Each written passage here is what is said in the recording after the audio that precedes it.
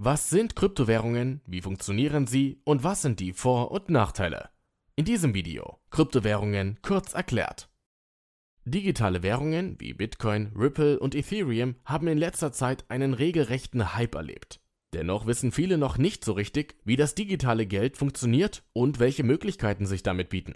In diesem Video erklären wir dir alles, was du wissen musst. Außerdem zeigen wir dir, wie und wo du Kryptowährungen sicher und günstig kaufen kannst.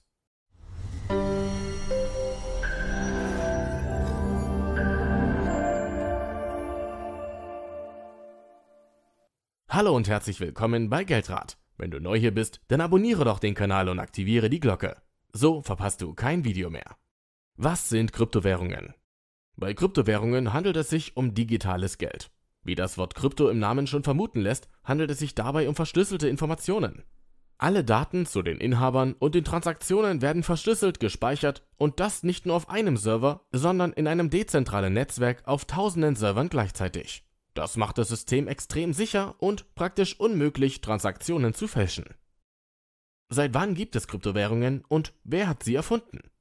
Eine Gruppe Programmierer und Kryptografen begannen Anfang der 90er in einem E-Mail-Chat darüber zu diskutieren, wie die Privatsphäre im Internet besser geschützt werden könnte.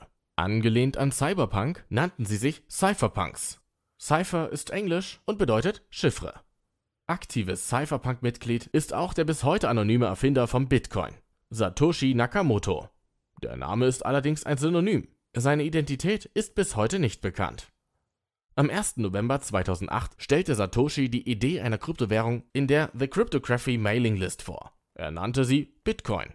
Nur rund zwei Monate später, am 12. Januar 2009, fand die erste Transaktion mit dem Bitcoin statt.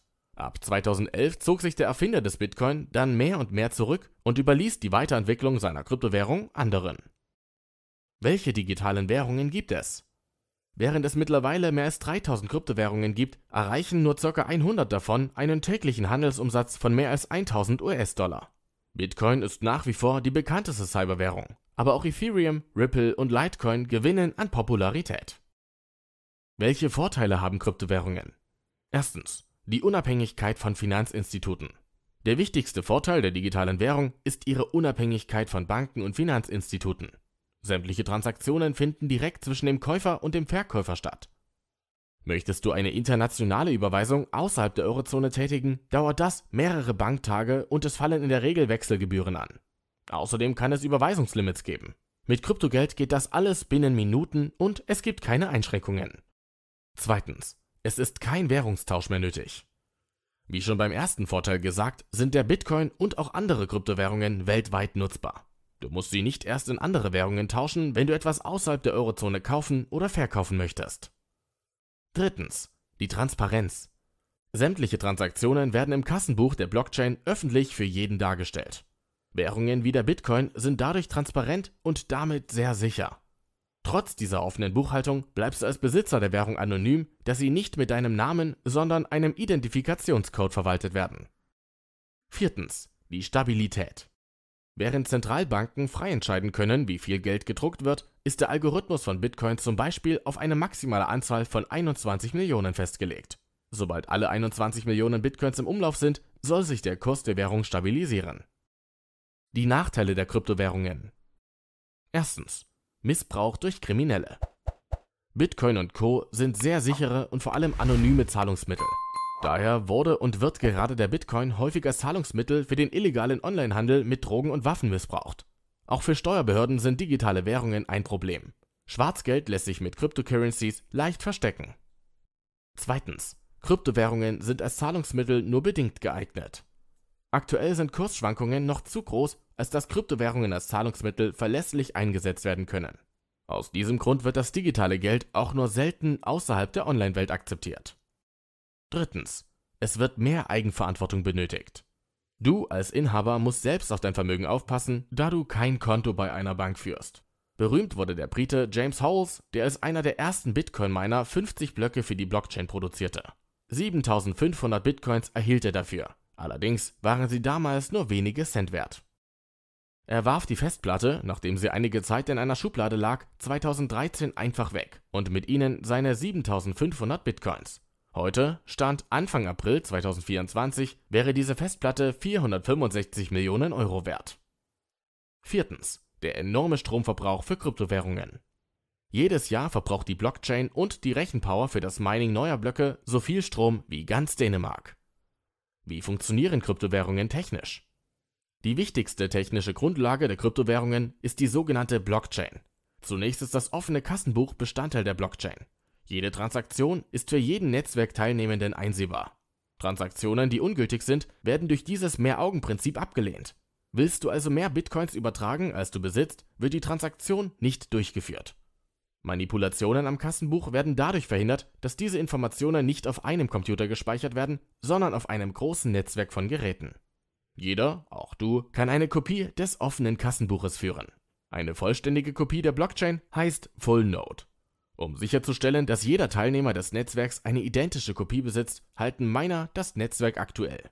Bei jeder Transaktion wird zunächst geprüft, ob sie gültig ist, also ob der Besitzer genügend Geld der digitalen Währung besitzt. Dann errechnet der Miner einen Schlüsselcode, mit dem die Transaktion in das Kassenbuch eingetragen werden kann. Dafür wird eine gewisse Rechenleistung benötigt. Ist der Code gefunden, wird die Überweisung in das Kassenbuch des Miners eingetragen. Dieser Code, auch Hashcode genannt, wird dann an alle Full Nodes des Netzwerks gesendet. Der erste Miner, der die jeweilige Transaktion bestätigt, erhält dafür eine Belohnung in Form von Bitcoins. Lohnt es sich in Kryptowährungen zu investieren? In den letzten Jahren haben sich die Kurse von einigen Kryptowährungen, wie beispielsweise von Bitcoin, vervielfacht. Andere kleinere sind eingebrochen. Als Anleger solltest du dir im Klaren darüber sein, dass die Kurse so schnell wie sie steigen auch fallen können. Trotzdem haben viele Investoren mit Bitcoin große Gewinne verzeichnen können. Da Kryptowährungen dank der großen Medienpräsenz nicht mehr nur für Computernerds oder Gegner der staatlichen Geldpolitik interessant sind, gab es immense Kurssteigerungen.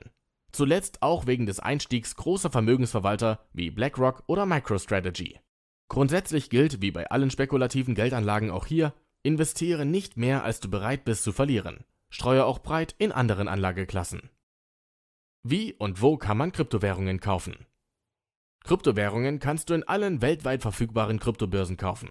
Außerdem kann man an einigen Geldautomaten Bitcoin kaufen, wenn man bereits über ein eigenes Wallet verfügt. Unsere Empfehlung ist Bison, ein seriöser Anbieter aus Deutschland, hinter dem die Börse Stuttgart steht. Einen Link findest du unter dem Video. Beim Kauf über Kryptobörsen sollte man sich gut über den Anbieter informieren und gerade bei ausländischen, unbekannteren Anbietern das digitale Geld umgehend in das eigene Wallet transferieren. Was ein Wallet ist und wie es funktioniert, Dazu kommen wir gleich. Welche Kosten entstehen beim Kauf von Kryptowährungen? Bei den Kryptobörsen entstehen beim Handel mit den Kryptowährungen Gebühren. Diese liegen in der Regel zwischen 0,5 und 2% des Kaufbetrages. Benötigt man Software zum Kryptokauf? Nein. Bei den Kryptobörsen kannst du die Kryptowährungen mit jedem gängigen Webbrowser kaufen. Die bekannten Kryptobörsen wie bitcoin.de, kraken.com und Coinbase bieten Apps, mit denen du den Handel auch ganz einfach auf deinem Smartphone abwickeln kannst. Wo bewahrt man Kryptowährungen auf, die man gekauft hat? Gekaufte Bitcoins und andere Kryptowährungen kannst du mit verschiedenen Methoden aufbewahren. Alle Möglichkeiten haben aber eines gemeinsam. Sie sind immer digital. Du kannst sie also nicht ausdrucken oder irgendwie anders physisch lagern. Die erste Möglichkeit ist die Aufbewahrung im Wallet der Kryptobörse, bei der du die Online-Währung gekauft hast. Hier wird automatisch ein Wallet erstellt, das du nutzen kannst. Bei den ausgereiften, bekannten Plattformen ist die Sicherheit recht groß. Deinen Private Key, den du für alle Transaktionen benötigst, musst du sicher und gut aufbewahren. Ohne ihn hast du keinen Zugriff auf dein Kryptogeld. Oder nutzt Wallet-Software, die du auf deinem Laptop oder Desktop-PC installierst. Hier kannst du sämtliche Kryptowährungen, die du auf Kryptomarktplätzen gekauft hast, aufbewahren. Aber Vorsicht! Bei einem Computerschaden mit Datenverlust oder wenn du den Computer verlierst, sind auch deine Bitcoins verloren. Auch hier musst du deinen Private Key sicher aufbewahren. Unterschiede Hot Storage und Cold Storage von Hot Storage spricht man, wenn man gekaufte Kryptowährungen auf einer Kryptobörse oder dem eigenen Rechner verwahrt, der mit dem Internet verbunden ist. Cold Storage hingegen nennt man die Aufbewahrung auf Geräten oder Datenträgern, die offline sind, wie USB-Sticks oder Festplatten. Wenn du Besitzer von Kryptowährungen bist, musst du sicher sein, dass du die Geräte nicht verlierst oder die Zugangsdaten nicht vergisst. Andernfalls können die Bitcoins oder andere Währungen verloren sein, da man keinen Zugriff mehr drauf hat. Wir hoffen, dir hat das Video zu Kryptowährungen gefallen. Wenn ja, dann lass uns doch gern einen Like da.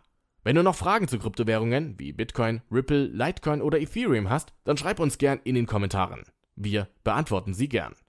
Vielen Dank fürs Zuschauen und bis bald.